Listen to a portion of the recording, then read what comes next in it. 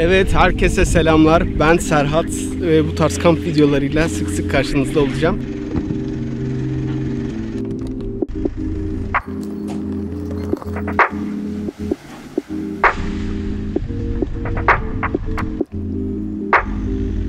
Bu karşıdan yeşil çim gibi gördüğümüz yer şey bataklık yani.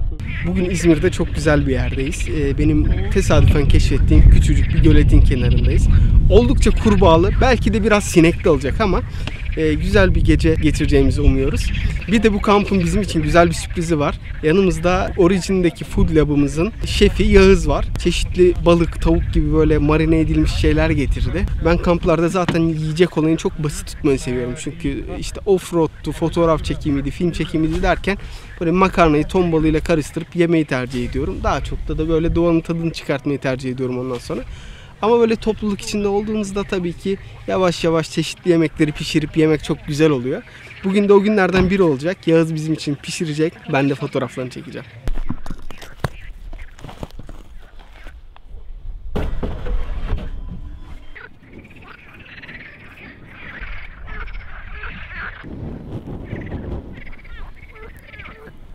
Acayip bir mantarımız var. Acayip bir şey. Ben de yapmadım daha önce böylesini. Yiyince göreceğiz ama çok iyi olacağına eminim. Onun yanında burada soslu tavuğumuz var. Pirzola. O da lokum gibi olacak. Şahane. Mısırımız var. Mısır közleyeceğiz ve patates közleyeceğiz. Yani efsane bir menümüz var burada bu akşam. Afiyet olsun bize.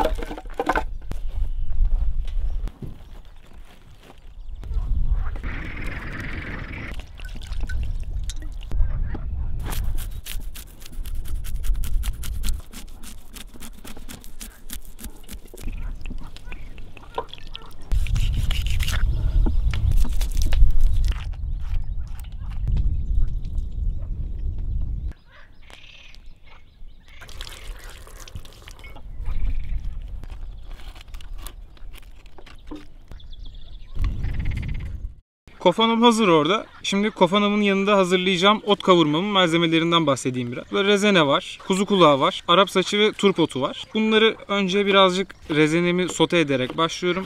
Sonrasında rezenelerim hazır olur olmaz üzerine otlarımı koyacağım. Çok fazla pişirmeden hala diriyken bol zeytinyağı ve taze baharatlarımla salatamı bitireceğim. Ve balığımın yanına altına harika bir şekilde dizeceğim.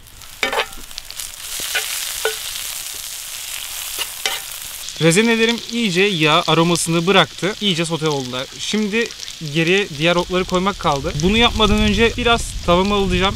Soğumasını bekleyeceğim. Ki koyacağım yeşillikler hemen ölmesin. Çünkü bunların bütün olayı aromaları ve bunların aromalarını saklayabilmem için en az derecede pişirmem gerekiyor. Rezinelerim hazır. Artık balığımı ateşe koyabilirim. Rezinelerin soğumasını beklerken balığım için ateşi ayarlayacağım. Közleri dağıtacağım. Sonrasında balığımızı pişirmeye başlayacağız.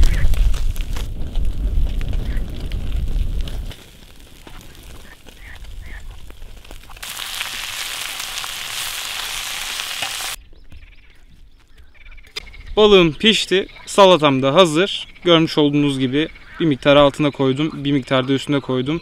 İçerisinde buradan topladığım ada çaylarının ve rezenenin aroması iyice balığıma sinsin diye.